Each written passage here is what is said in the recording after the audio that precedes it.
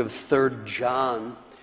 We've been looking in a series called Kingdom Prosperity. We just have one more uh, week next week, and so I want to remind you this is the actual the final lesson of uh, teaching. Next week we are going to do a recap just to make sure you have it in your head, and then we're going to pray, and we are going to literally pray to uh, break curses, and we're going to pray for God's prosperity.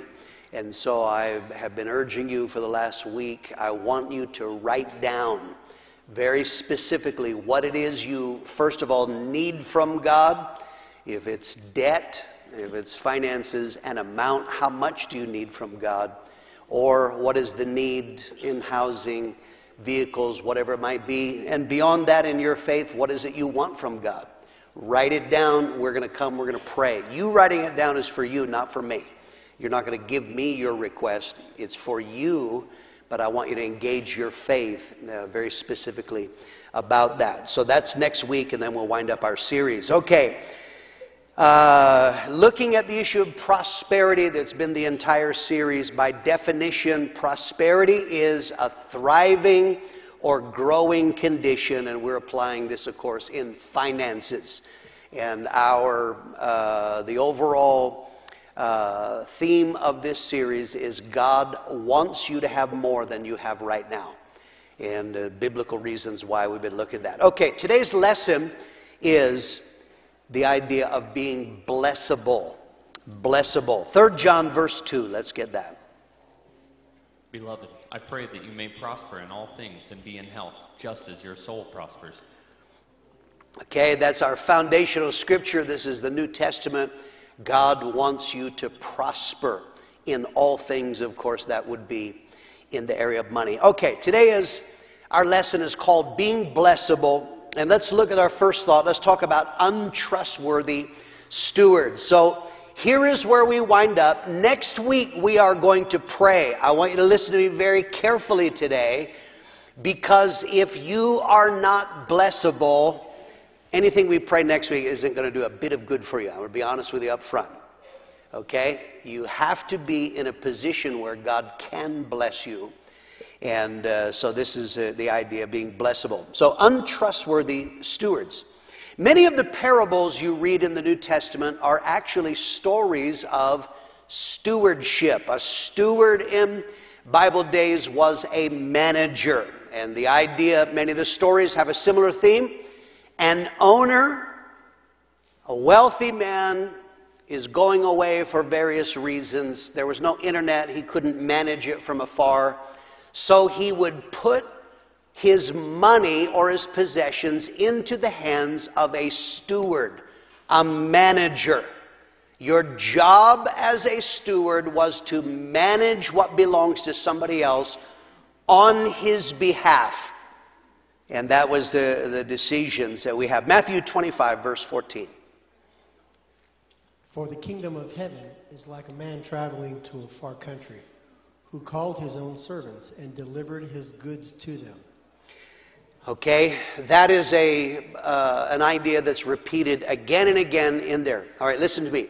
You are a steward, you are a manager. Every single person here, God has given you an, an amount of money, an amount of resources.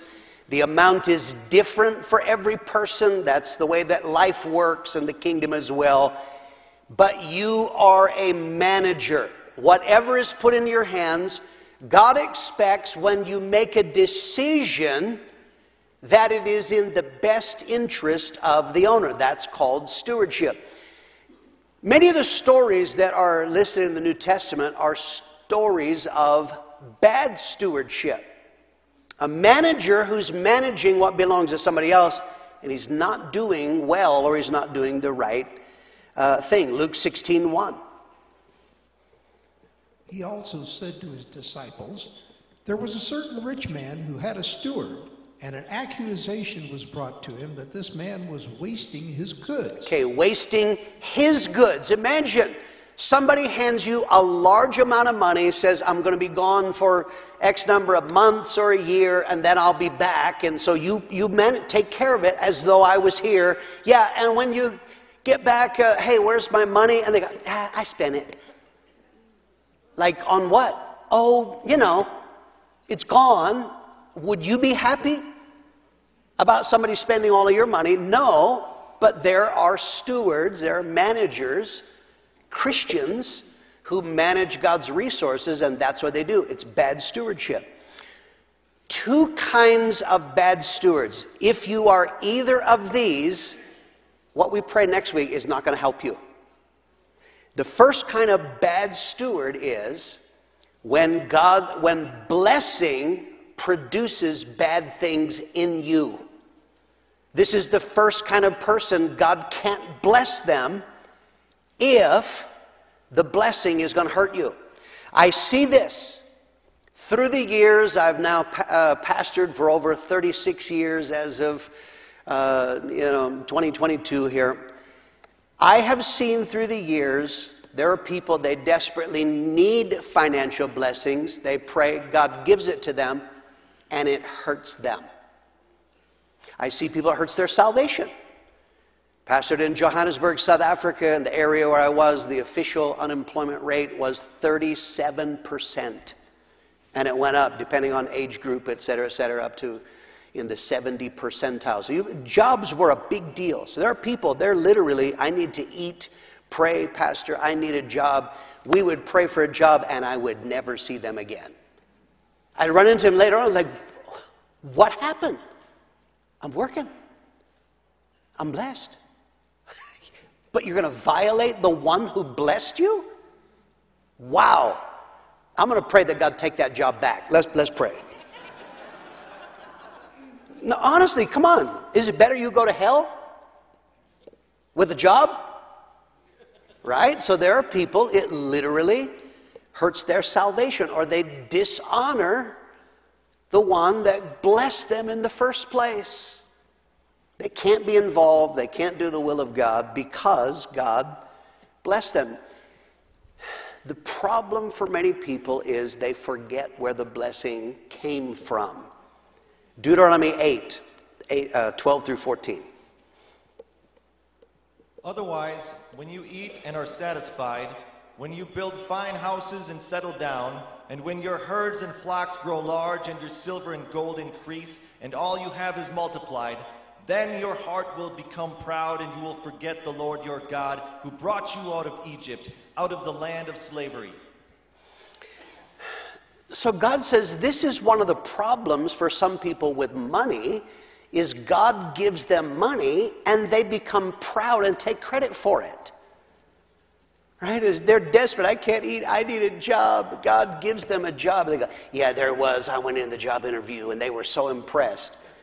Well, the last 57 interviews, they, didn't, they weren't impressed. That was God.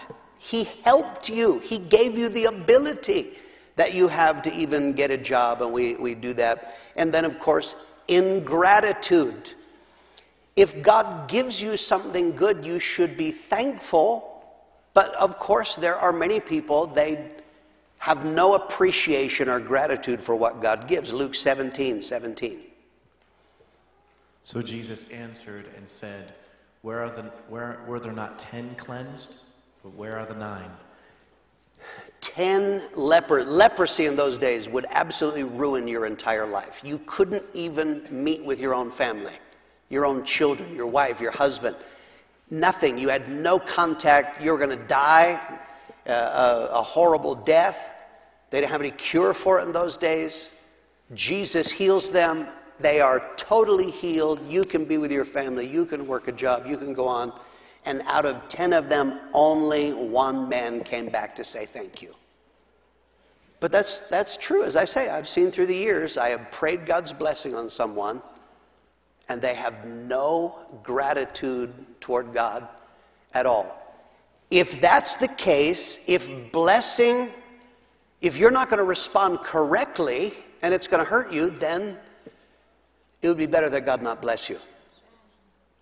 Second, kind of bad steward is when you fail to use God's money for God's purposes. We are talking about prosperity. God can give you a job, He can give you money in many different ways. But the whole idea is you manage it on God's behalf. He has no problem with you buying stuff. He has no problem you using that money as long as you remember it belongs to Him. And you must show Him that you agree. You have people that God blesses them with money and then they fail to tithe. God has designed the plan of tithing the first 10% of his income. He doesn't do that because he needs your money. Do you understand this? God's not in heaven like, how can we, we can sell chickens. No, we can tithe. That's not, you are, need to tithe for you. It's not for God. He, if he can create the whole world, right? Let it be. God could just say in the church bank account, right? But we need to tithe. There are people, God gives them money, they don't tithe. Malachi 3, verse 8. Will a man rob God? Yet you have robbed me. But you say, In what way have we robbed you? In tithes and offerings. If you don't tithe, you're a thief. Simple. You may be a Christian thief, which is an oxymoron, isn't it? Those two words should not go together.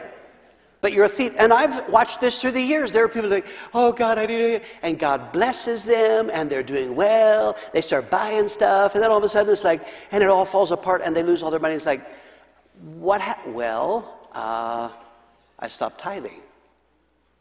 Why would you do that? It belongs to God. If you rob God, if you're not going to honor God in the tithe, He's not going to give you more. It just won't. And the, biblically, He'll actually take away what you have.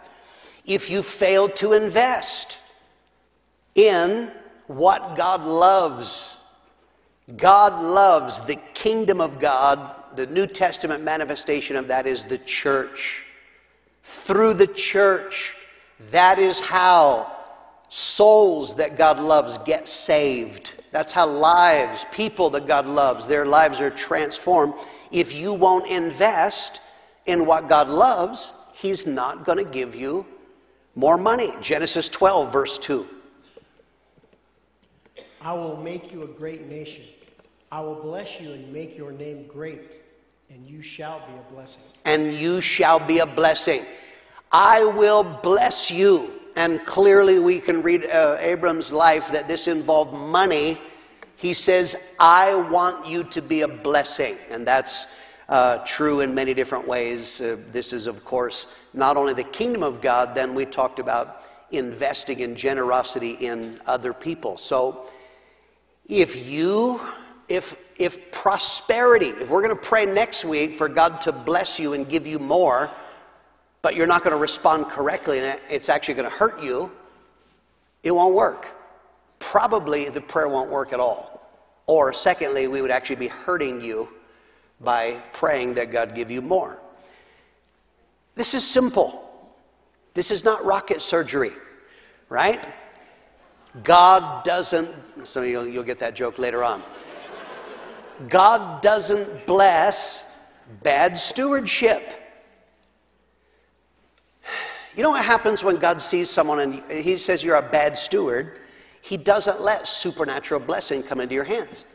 If you're a bad steward, we're talking about more than math. I'm talking about God intervening and giving you finances and resources supernaturally. That doesn't happen to bad stewards. Some people are praying, God bless me, bless me, but He knows you're a bad steward. And I wonder if God ever wants to go, You're kidding, right? Is that a joke? You're stealing from me, but bless me and give me more. That, that's just not going to work. I believe biblically that there are some people God says, I love you too much to give you more money. Because you won't do the right thing. Now, that, that doesn't mean that He won't, or you can't fix that. But if you're going to be a bad steward, God won't bless you. Proverbs 30, verse 7 through 9. Two things I ask of you, O Lord. Do not refuse me before I die. Keep falsehood and lies from me. Give me neither poverty nor riches, but give me only my daily bread. Otherwise, I may have too much and disown you and say, Who is the Lord? Or I may become poor and steal and so dishonor the name of my God. Okay, now there, of course, are people who would take this scripture to say, see, we shouldn't ask God for more money. But that's this guy. That's personal. Because if you take the whole of Scripture, there are plenty of people that God gave a lot of money. So obviously, this Scripture does not apply to every person. But it's you. If you if you can't handle prosperity, then God won't give it. It just won't work. In fact, not only will God not give supernatural blessing, for some people, He takes finances away from them, knowing that it hurts them. Listen, if your job keeps you from ever serving God, God can fix that. Right? I, got, I just got so many investments, I just have no time for church. God can fix that, and I've seen it. If you make money an idol, what did God do to Dagon in the Philistine temple? He smashed their idol. God says, I don't want you to have any idols ahead of me. So they, they put God's ark, the presence of God, in Dagon's temple. And God says, Listen, if you got another God, I can fix that. They come in the morning, he's on his face. They thought, wow, it must have been a big wind. They prop him up, they're not getting it. God says, You're not getting this, are you? Smash. When they come in the next day, Dagon has no head, no hands. Do you know what? I've seen people like God is trying to give you a gentle reminder. He's pushing over your idol and you keep propping it up. God says, well, then we can fix this. And there are people that God takes it away. That, that's not inevitable. This is a choice. Matthew 25, 28, and 29.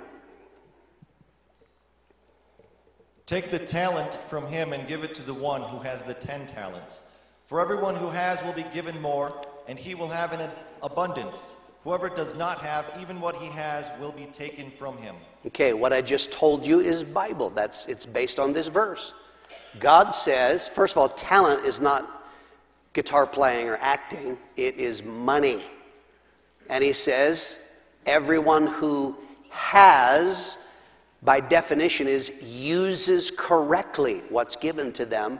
What do they get? More and he'll have abundance. But whoever does not have, which by definition is does not use it correctly as God intended, what does he say? Take it away from them.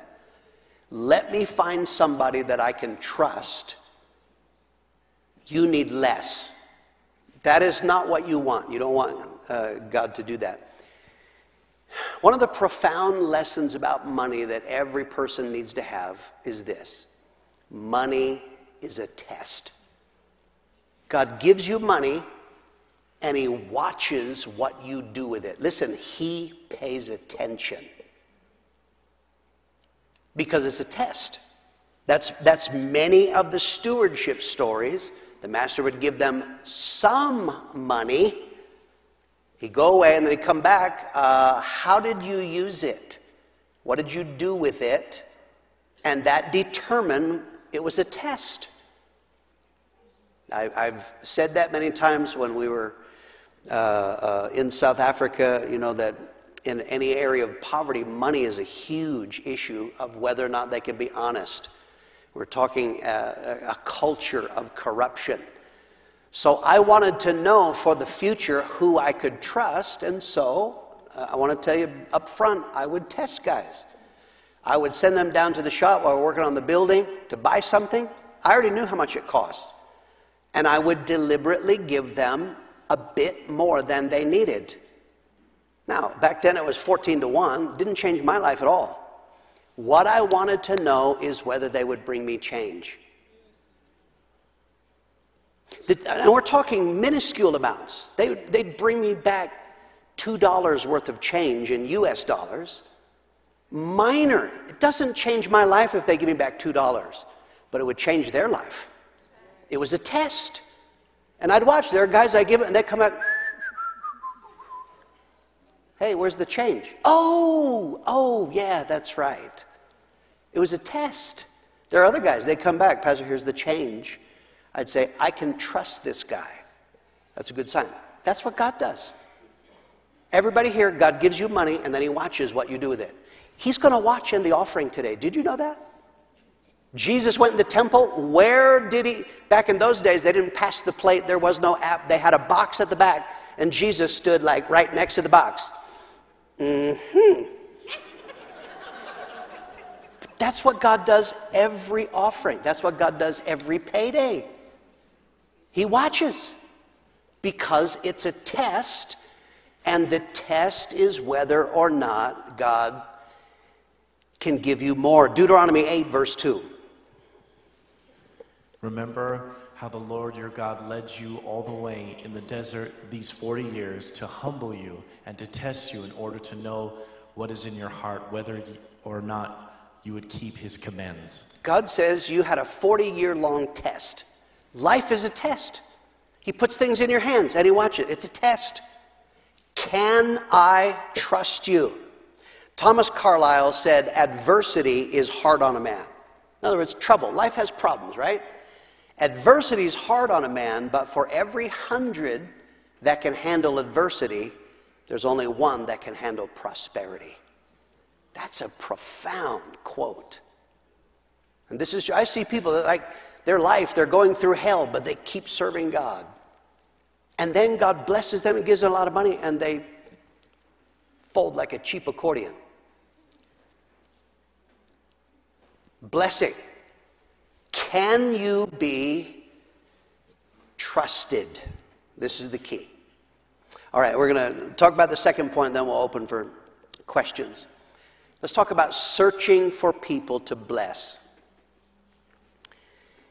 If your view of God is we have to force God to bless us, then you don't understand who God is. Biblically, God is looking for people that He can bless. He wants to bless to the point that He is looking, asking, Who can I bless? Second Chronicles 16, verse 9. For the eyes of the Lord run to and fro throughout the whole earth to show himself strong on behalf of those whose heart is loyal to him. Okay, this is a man named Asa in trouble. He doesn't trust the Lord. And the prophet says, Don't you get it? The eyes of the Lord, that's just simply the idea that God is looking. And what is it? He is looking for someone that he can help. He can be strong on their behalf. In this case, it's money. God wants to be strong on your behalf in the area of money. He's looking for that. Why would God want? This is the whole idea. And I understand, based on some of you, your background, your experience, I do understand that when I began this series and was talking about the idea of prosperity and giving you more, some of you that made you very uncomfortable, doesn't it? The whole idea, like, I just think that's unspiritual that we should be asking. But it's actually logical, isn't it? It's in God's best interest to give you more money. Because if God gives you more, his kingdom will be blessed. His purposes will be blessed. This is logical, isn't it? It's math. If you have more money, you can do more good. Right? Some of you right now is that you want to give to the Lord, you can give a dollar sixty-three. We can do a dollar sixty-three worth of good. Wouldn't it be better if you had 10,000 extra? 50,000? Wouldn't that be better? You could do it's math. It's logical. That's why God wants to give you more. And then, of course, we said that when God gives you money, He wants you to help other people. The more money you have, if you understand God's purposes, that means the more other people will be blessed. So, this is why we're not trying to force God to bless us. I tell you plainly, God is looking right now who can I give more money, more resources to, so here's a simple question. If God's looking for people to bless, why don't you be that person? Why don't we be the one? Like, why don't you put your hand up and go, me? Right? That's the hope. Our sister wants it here. So this brings us now, this is our the, the title of our lesson today. So if God is looking for people to bless, here's my question. Are you blessable? I don't even know if that's a word, but it needs to be. And if it does, I'm copyrighting it. If you start selling t shirts that says blessable, you remember who made it up, right? Are you blessable? Would you qualify today for blessings? Based on the criteria that we said about being a good steward, can you be trusted with blessings? That's what it means to be blessable. God wants, He's looking. If He can find people who will honor Him, who the blessing won't ruin them, who will use what He gives for His purposes, He has no problem giving you more than you have right now. Luke 16, verse 10 through 12. Whoever can be trusted with very little can also be trusted with much.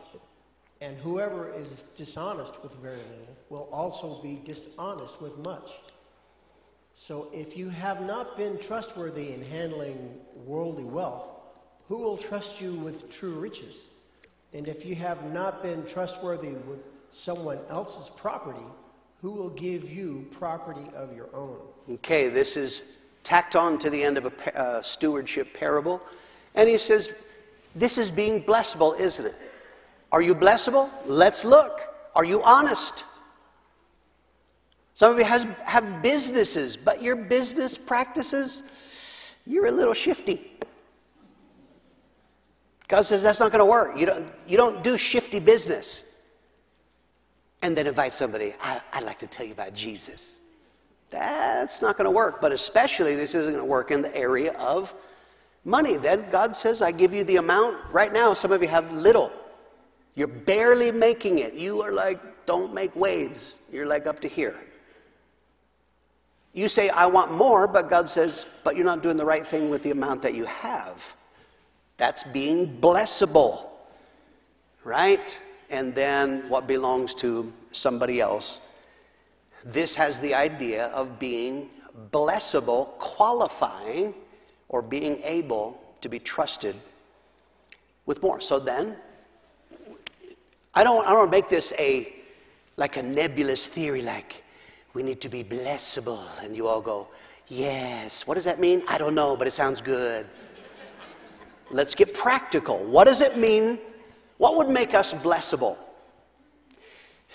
Number one, you need to make a covenant with God in advance. Before you get the blessing, you and God need to come to an agreement.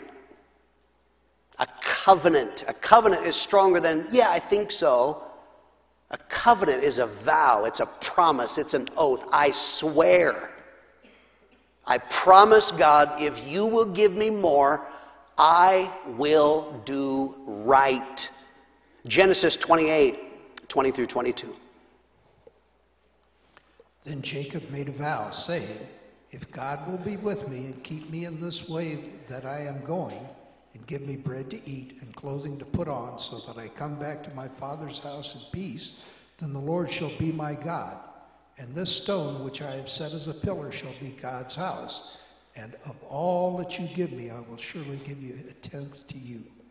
Okay, what Jacob did is he made a covenant with God in advance. He didn't have any money right now, he didn't have a job right now. He's on his way to where he's going to have a job, but he says, God, if you will bless me before I ever get anything, here's what I'm going to do I will do right. See, that's what we're going to do next week. Next week, part of the prayer, we're going to break any curses you've incurred on yourself or your family's incurred, but we're going to make a covenant with God.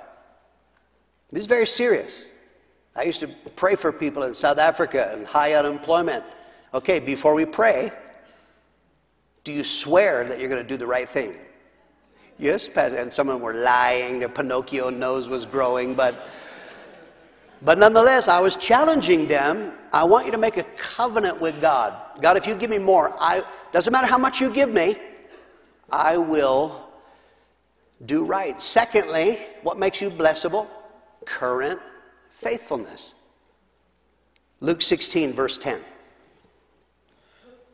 Whoever can be trusted with very little can also be trusted with much, and whoever is dishonest with very little will also be dishonest with much.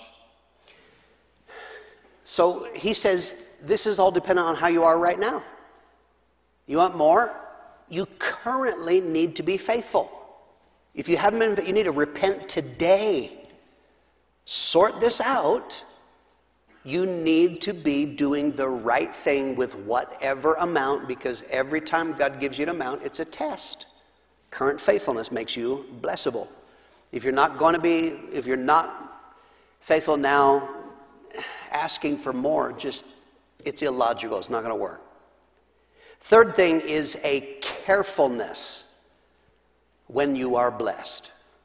And by careful, that's not only how you spend it, what you do with it, it's an attitude of worship and gratitude. Remember, we read out of Proverbs 8 before that the problem of money, money has the power to make you forget. Right? People get money like, God, who? I don't need God. I got a bank account.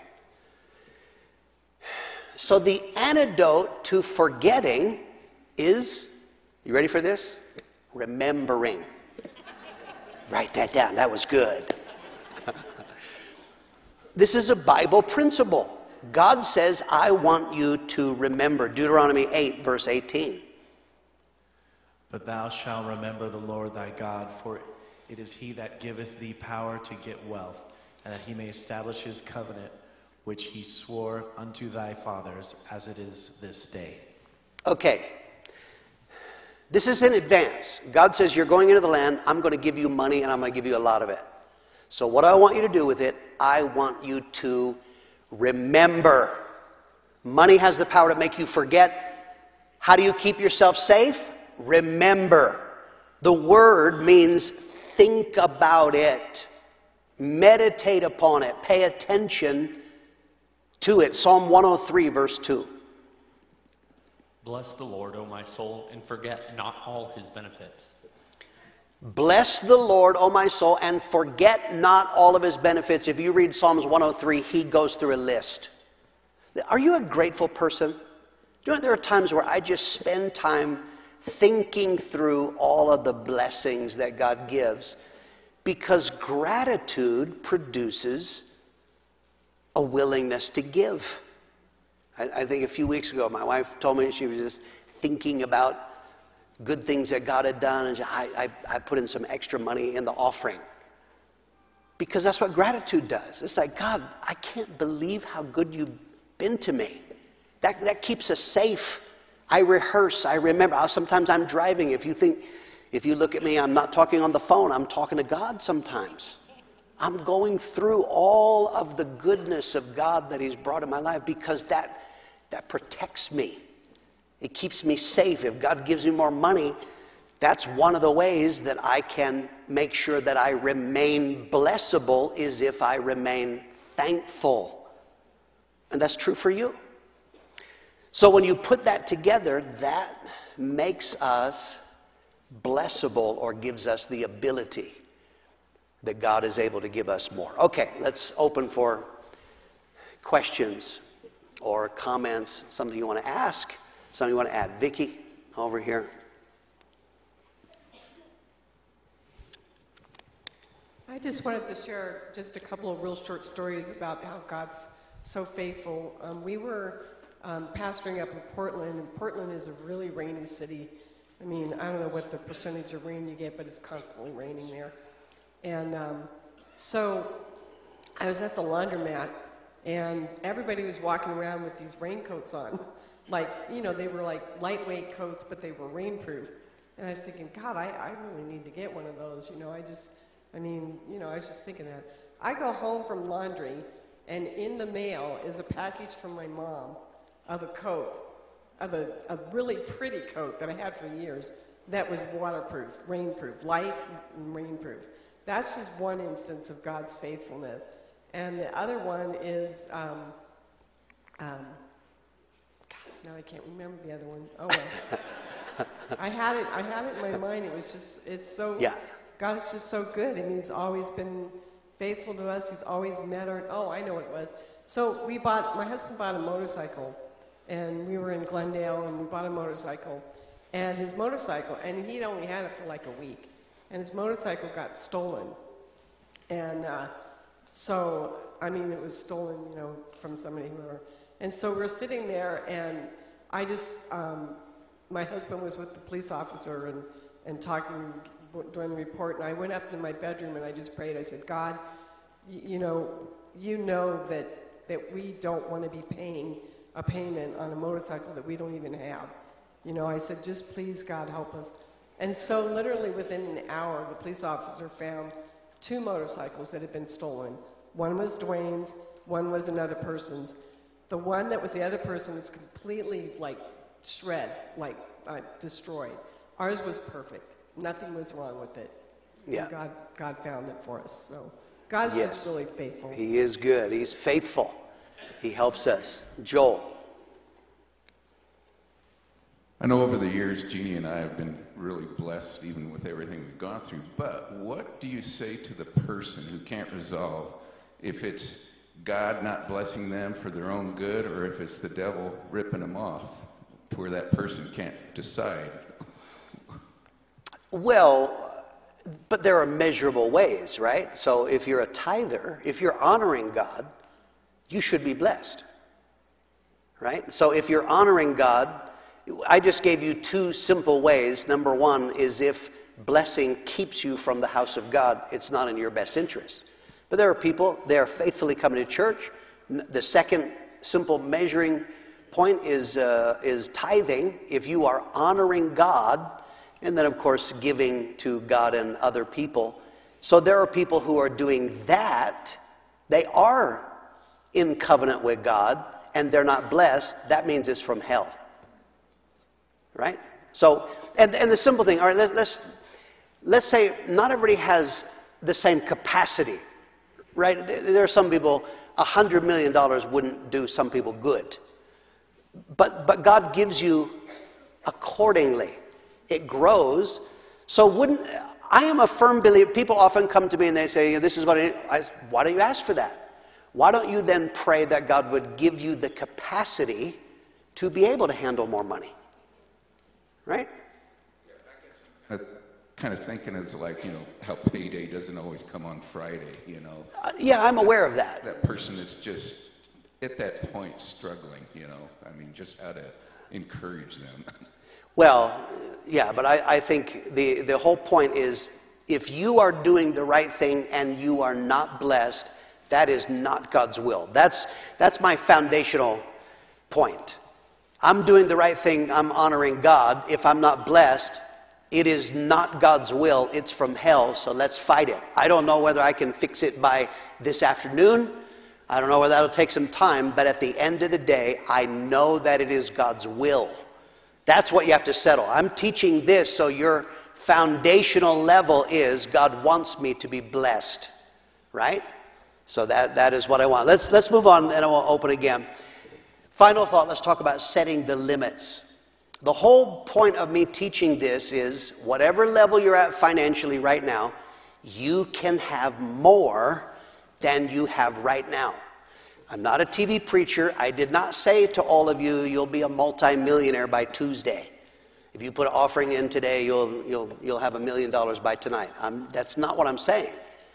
There may be a process, et cetera, et cetera. But the point is, God wants you to have more. And some of you, if you are barely making it week by week, that's from hell. That's not right. It stresses you out, it distracts you. That's not God's will. He wants you to have more. Matthew 25, 20 and 21. So he who had received five talents came and brought five other talents, saying, Lord, you delivered to me five talents. Look, I have gained five more talents besides them. His Lord said to him, Well done, good and faithful servant. You were faithful over a few things. I will make you ruler over many things. Enter Okay. into the joy of my Lord. Okay, few, that's what you have right now. What do I want? Many. Do what's right. I want to give you more than you have. Luke 16 10. Whoever can be trusted with very little can also be trusted with much, and whoever is dishonest with very little will also be dishonest with much. Okay, little, much. Right now, some of you, you're struggling. You have little, but God's will is much. The more God can trust you, the more He can give to you. Like I said, for most of you, it's not going to be, I'm going to pray today and I get $100 million in my account by this afternoon. That's not how it works. But you are faithful, you're trustworthy, God does a miracle, it increases, and then you do right with the new amount. And God says, I can trust you, so I can give you more. This is, a, this is a, a, a, an issue of trust, but foundational. I pray that you get through this series. God wants you to have more. And then I'm, I'm reminding you one more time before we pray next week in some ways, you set the limits. Right? There is an, an ability issue, and I get that. But in life, you can have more. You can't say, I want as much as Bill Gates. By, that's, not, that's not up to you. But you certainly set your own limit in life. That is an issue of faith. Luke 6, verse 38. Give, and it will be given to you. A good measure, pressed down, shaken together, and running over, will be poured into your lap. For with the measure you use, it will be measured to you. Okay, with the measure you use. When you understand and you break into the dimension of faith, God wants me to be blessed. When you break into this understanding, seed is how the kingdom works. I give out. I, I taught on that. Therefore, there's a faith issue, whatever measure. Some of you, you got a little bit of faith, so you've got a little bit of giving, then you'll get a little bit of blessing. But if you can increase and trust God, of course, you got to deal with debt, you got to budget, all the things deal with funky attitudes. 2 Corinthians 9, verse 6. Whoever sows sparingly will also reap sparingly, and whoever sows generously will also reap generously. Okay, this is a proportional is, is, is if your faith is, I can only trust God with a little bit, God says, then that's how I return it.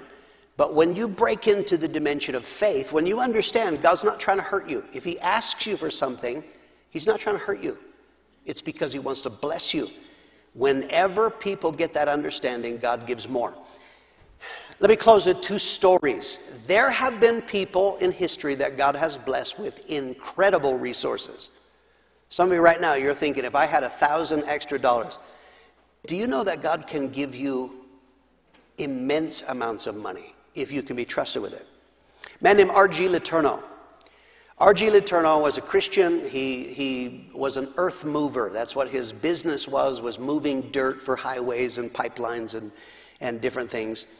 R.G. Letourneau, he and his wife made a covenant. They started tithing.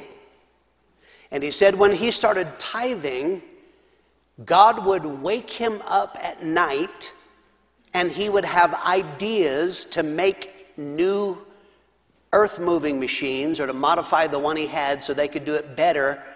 And because of that, two things. One, in his business, they could move more dirt, which was make more money. And then his ideas in machinery, he could sell them. God would give them ideas. When he started, he was tithing. That's bare minimum. We taught on that 10%. But God began to bless him. So then, R.G. Letourneau, then he was giving 20%, living on 80%. And God gave him more money. So he started giving 30%, living on 70%, 40%, living on 50 and 50, 40 and This grew at the end of R.G. Letourneau's life. He and his wife, they were giving away 90% of their income and living on 10% because God gave them so much money. R.G. Letourneau did that. It was a miracle from God, he freely acknowledged, but R.G. Letourneau, with every new amount, God could trust him. So God knew it's not going to hurt him if I give him more, I'll give him more. And he honored God. So he was living on 10% and living well because of the blessing of God. David Green wanted to start a craft shop. So he borrowed $600 to start his craft shop. Anybody know what it's called today? Hobby Lobby. With his $600 loan, he began to honor God, began to tithe, and began to give. David Green's personal net wealth, when I looked it up a few weeks ago, they say he personally, he has $7.2 billion. And that's not counting the kids and the rest of the family or the whole business. He has 7.2 billion. If you've ever read his book, he has an entire foundation that it requires work for the family to get together. We need to give away hundreds of millions of dollars. Not five bucks. We want to give away hundreds of millions, and they do that every year and God gives him more. His net worth is growing every day. Why? Because David Green can be trusted. David Green is blessable. I don't think he has the t shirt, he probably has a tuxedo that says blessable, right? So that's, that's why, do you understand? Some of you, I believe in our church there are people that God could give you resources and the gift of giving. You could do great amounts of good. Great amounts. Not only could you be blessed, your family be blessed, you could do an incredible amount of good in the world. Imagine, just think about one, one simple thing. Is we have churches all over the world. Some of them are struggling in funky little buildings that they have to rent. I, I know churches where, you know, 50% of their income goes towards rent. What if someone was to be so blessed that they could buy churches' buildings so they could live rent free? Wouldn't that be, wouldn't that be a good thing? Again, I'm not saying all of you need more money because everybody needs a pink Cadillac, right? I'm saying the more God gives you, the more good you can do. So that's why God says, I want you to be blessable. So you sort this out. Why don't you have honest conversation with God between now and next Sunday? Because next Sunday is when we're going to pray.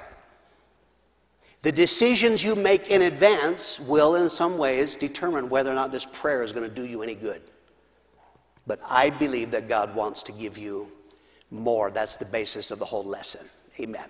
Okay, now more comments or questions. Melissa.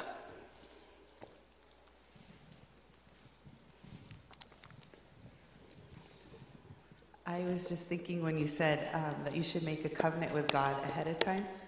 When I was in Gallup, we were having revival with the youth, and I was, I think I was like 21. So I was like the older person, and everyone would come over to my apartment. And, um, and I basically was having fellowships and following up on people, and I didn't have enough to do that. And so I was like, God, if you give me a raise, I'll use it to you know, take people out and just be a blessing. And um, I got called into my boss's office, and he's like, I was thinking we're not paying you enough. And he gave me a $4 an hour raise. And so I was like, oh, cool, you know.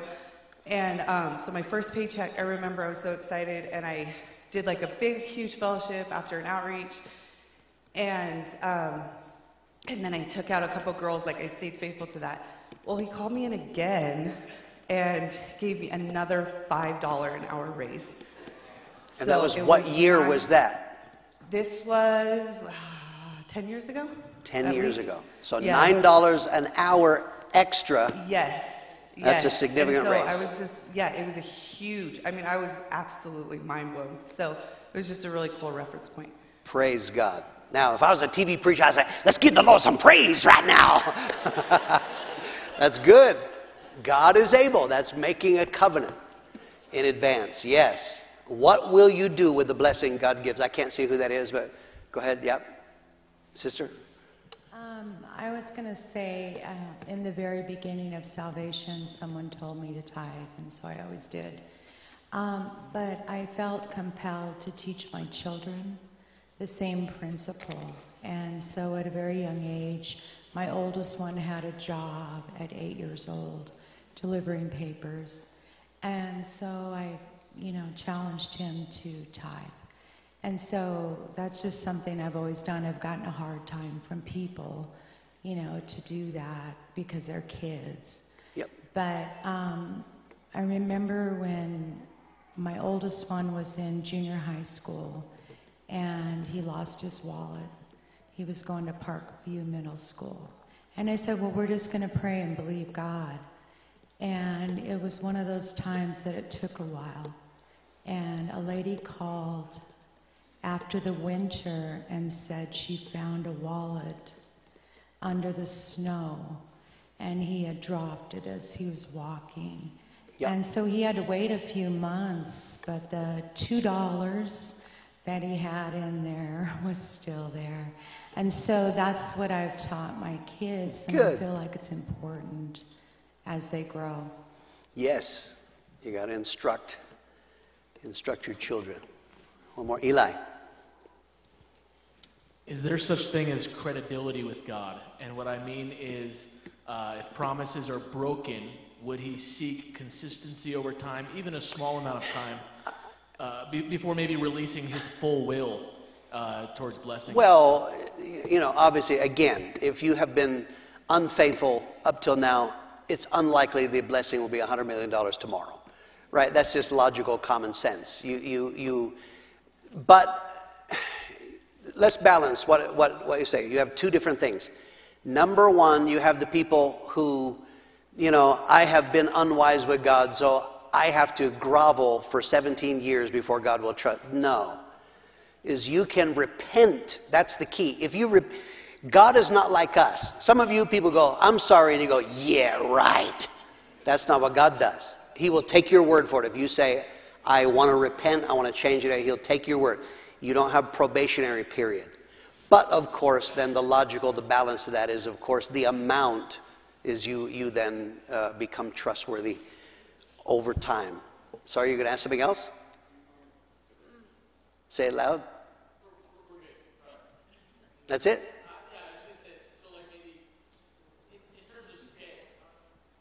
You want a percentage? That, that, that's all I was asking is in terms of scale, and you kind of covered that. Scale, yeah. Yeah, scale, that's it. Stephen Cassio is working on the app, and then he'll know the scale perfectly. Mark, last one. Got to be quick. Is there a, a, there was a pastor that preached that an amount that you want to have, you should tithe. Is that anywhere No. scripturally? No. Uh, number one, if, if God tells you to give an amount, I have no problem doing anything God tells you. But biblically, if someone says you need to tithe on the amount, uh, if you wanted $100 million, could you tithe on $100 million today? No, that's illogical. Number two, the Bible says in 1 Corinthians 16, set aside by, in store according to what he has, not what you do not have. That's why when I take offerings, I don't take faith offering. I want you to give by, by faith that you're going to have $100 million because that's not biblical. The Bible says you give according to what you have now. So that's the biblical understanding. God bless you. Service will start in five minutes. Amen.